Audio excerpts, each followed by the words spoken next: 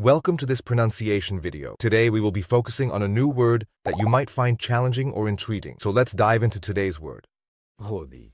which means, Rhode does not exist as a standalone word in English. let's say it all together. Rhode. Rhode. Rhode. One more time. Rhode.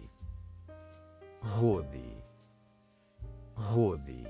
Thank you for joining us on this adventure in pronunciation. Remember, language is a journey, not a destination. Keep exploring, experimenting, and expanding your linguistic horizons. We'll see you next time.